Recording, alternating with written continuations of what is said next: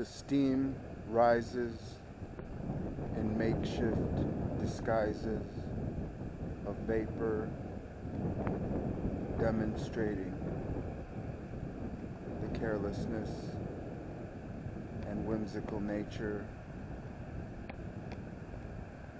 inside of the gradient of gray written into the way of nature.